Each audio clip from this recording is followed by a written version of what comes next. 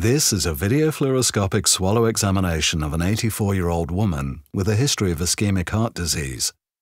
She was referred for an instrumental swallowing examination because she complained of food occasionally getting stuck in her throat.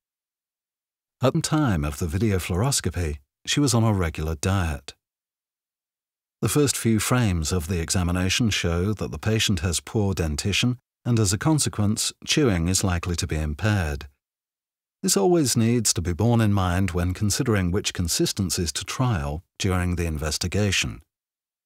When the patient trialed thin liquids, we can see that there is reduced laryngeal elevation and incomplete airway closure on this swallow.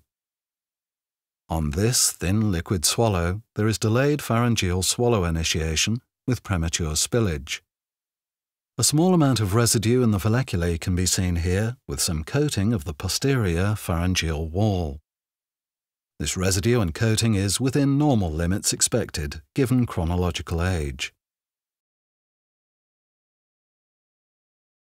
When the investigation moves on to trials of puree consistency, we see an example of a delayed oral bolus transit.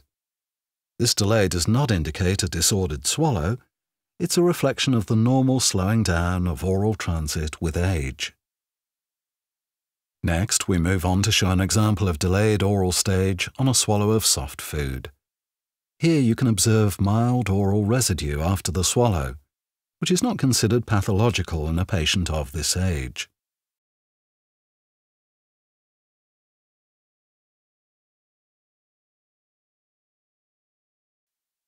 When the patient is moved into anterior-posterior positioning, screening of the esophageal stage of swallowing is facilitated. This is not always considered a norm in video fluoroscopy, but can prove useful for differential diagnosis. In this position, residue is observed in the lower esophagus, with some degree of delayed bolus transit being evident. While still in the AP viewing plane, an example of delayed oral stage transit with a soft consistency is demonstrated. This is followed by intraesophageal stasis with mild retrograde bolus flow, or reflux, at the top of the video fluoroscopic image.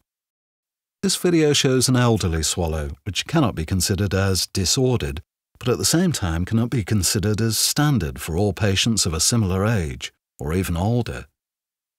What must be remembered is that huge variations in the normal elderly swallow occur, and what has just been shown is just one example.